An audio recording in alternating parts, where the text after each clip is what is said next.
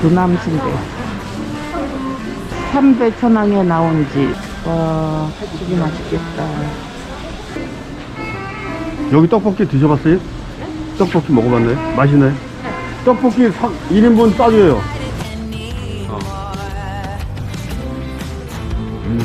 음, 다르지? 음. 어. 음, 맛있죠? 그지? 근데 내가 그래서 여기 살라고 세 번 왔는데 오늘 처음으로 사는 거야.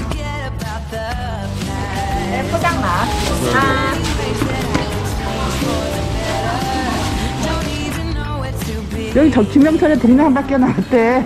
어? 강아지 떡. 강아지 떡 우리 저희 가서 다 먹었잖아. 교동도에 가서.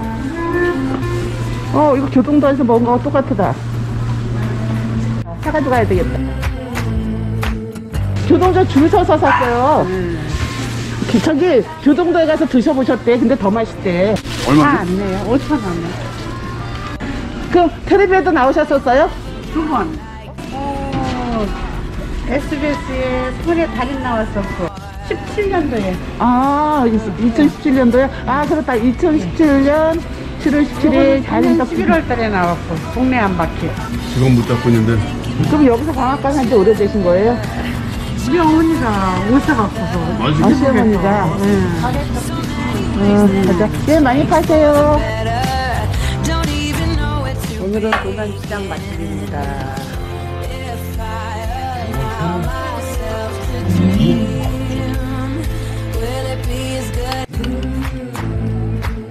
밭에다 찹쌀을 넣어 먹었다. 찹쌀가루.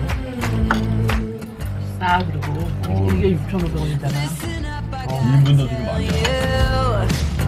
There is something you should know.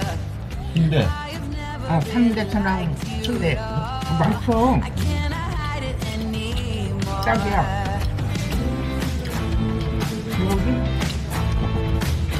즉석에서 만들어진 떡볶이. 원래 순대는 떡볶이를 찍어 먹는 거야. 어. 응, 허파.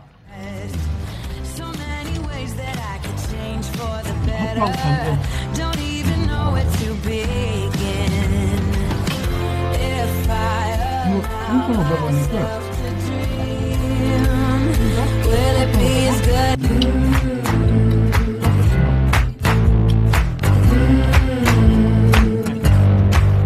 강아지떡 교동도에서 먹은 거보다 더 맛있대.